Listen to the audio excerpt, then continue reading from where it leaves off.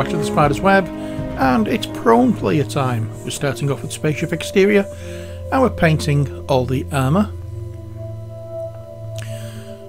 So yes, as, as usual, all the armour plating will get um, a covering of this spaceship exterior and then we'll uh, highlight up to white later on.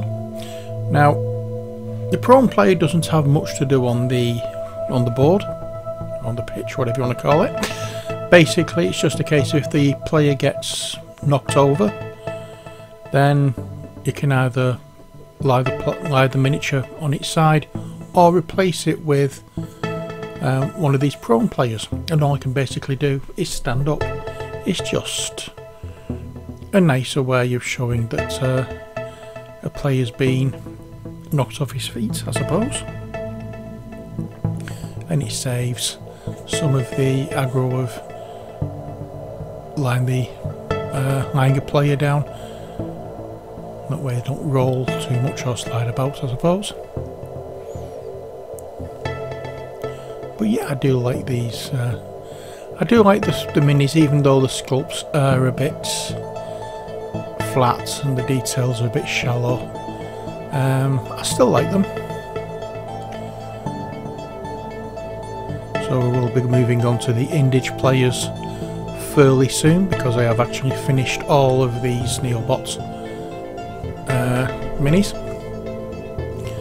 And I'm still trying to uh, think of a name for this particular team. Um, I have put a message in the description bar um, in regards to what suggestions have been made. So we have the Cyntelins Crushers, the Cyntelins uh, Crusaders and the Cyntelins um, Cardinals. There are three of the names. If you can think of any more, please let me know. If not, then let me know which of the three choices you like.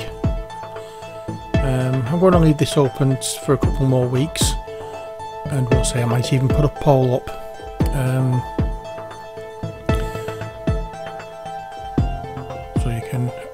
hopefully be able to add to or vote on the um, what do we call it? Vote on the suggestions or the ideas we've had so far. Um, so as you can see we're going around all the armour parts. We're leaving that ball catching glove or contraption whatever it may be um, in this dark greyish colour because that is going to be part of the mechanical um, aspect of this particular team. As I mentioned in each video I think that uh, this is a robot team so beneath the um, beneath the plating there's just uh, mechanic mechanical parts there's no organic parts there so uh, that's the reason it's basically a case of uh, metallic colours underneath this white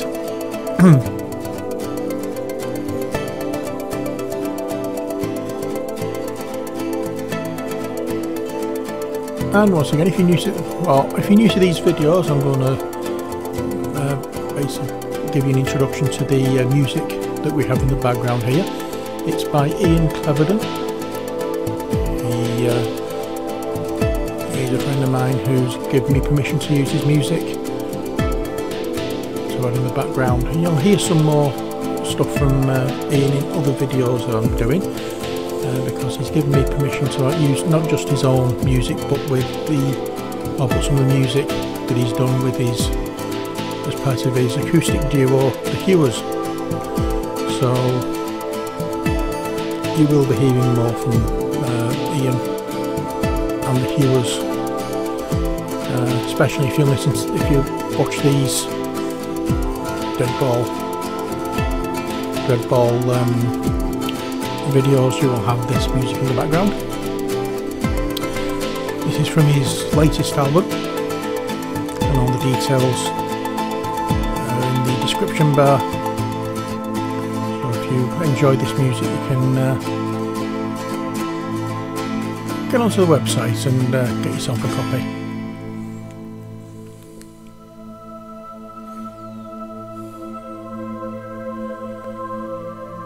So looks like we've nearly finished with the uh, spaceship exterior.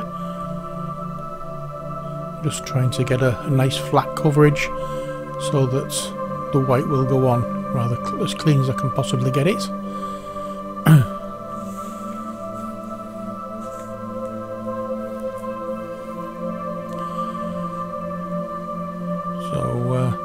Just to clean our brush off and then we can get on with the next part which is the rough iron from the this is the base colour for all the mechanical parts as I mentioned earlier. So starting with the ball catching glove. I call it a glove I don't know what it will be but uh, glove is as good a word as any to use I suppose because it's attached to the hand um, I,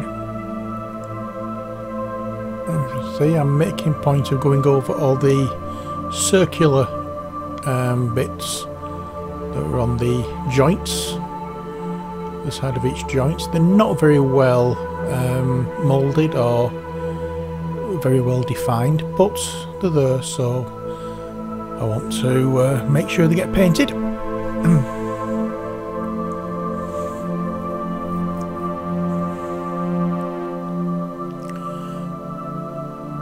make sure the sides and the front of the helmet are done as well. now as you can see I'm still not very good at keeping the miniature in full view of the camera but you've got the idea so far from what we're doing or from the from what I've done on camera that you can see where we're going with this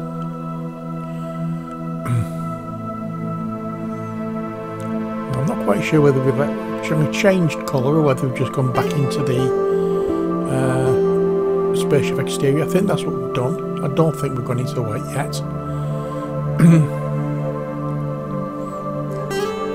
I just think um, the covering wasn't as good as I thought it was. So we're just adding some more to flatten it out a little bit and clean it up.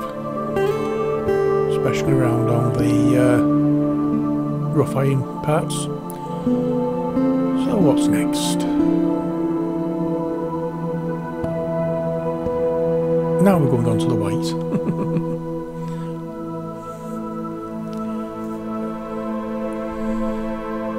we're making sure on the raised areas that are going to be hit by light are done. We can leave some of the lower areas that aren't going to be hit by light. We can leave some of those um, as just the spaceship exterior, but at the moment with this I'm not really too bothered about getting a good um, good highlighting technique with it. I haven't so far bothered with it because as I said the quality of the minis aren't brilliant and I'm just treating them as gaming pieces rather than display pieces so I'm not going overboard with any of it. But you can see though that the white is showing up really well against that um, spaceship exterior with it being a slightly off-white pale grey. Um, but it is an off-white it's a bit paler than chewing gum white this Vallejo white paint is uh, going on rather nicely over the top of it.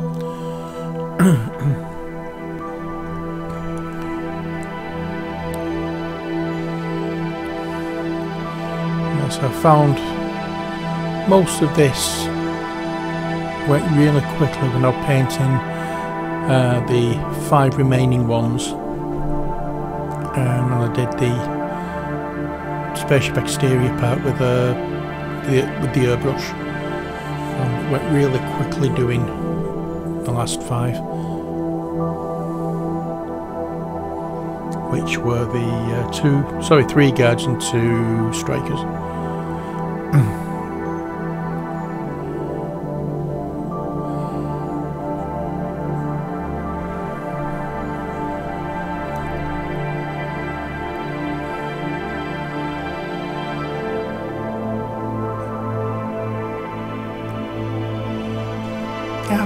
think is it for the whites. And next one we're going into uh, highlighting the metal areas with plate mail metal.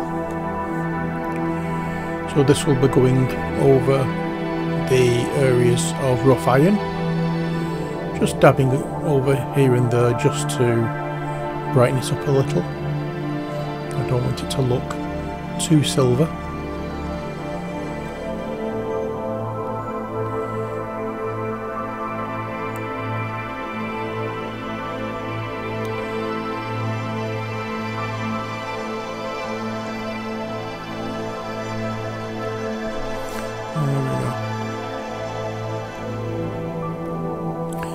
And as I said, we're, just making it look, just putting a little bit of brightness into that rough iron, not doing anything more. And now finally, the pure red. And this one, this will be for the V on the front of the, on the chest armour, and a little part on the shoulder armour as well. As I mentioned in each of the videos, I think this V and the colour scheme is a nod to my uh, hometown. Or my town. Or the town where I was born and brought up was St Helens and this is the um, the colours for the rugby team doing the that red V and then there's a little bit on the shoulder pads which I do as well on these particular ones which obviously you can't see at the moment but you will do in a minute. There we are. It's just that outside edge there that we're doing. And it's just to break up all the white a little bit more. I don't do that on all of the um, different types of player for this game it's um, usually find that there's a few differences with uh, with the style of the, the robot. But now we're going over the base with black.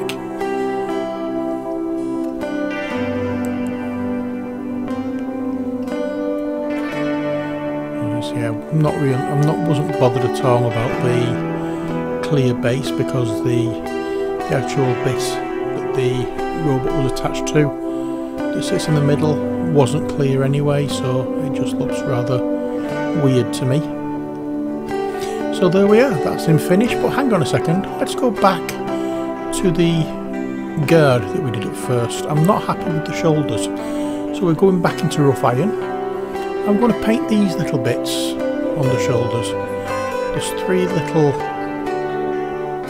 um, raised areas there.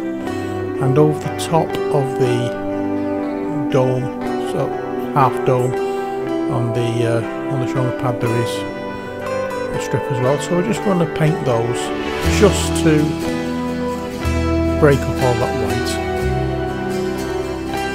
And then after we do this we're going to obviously come back in with the plate mail, plate mail metal Once I get the words out. And that is that. Hmm. So, yeah, there's a plate mail metal. I'm just going to do a few little touches over these. Unfortunately, it's a little bit watery, so I managed to flood the area. So put in, wipe it off and then put some more on. And that will be it for this video. I hope you've enjoyed it. All that remains now is to bring back the Chrome player, but from now, for now, from me, as always, take care, God bless, and bye for now. Stay safe, see you next time.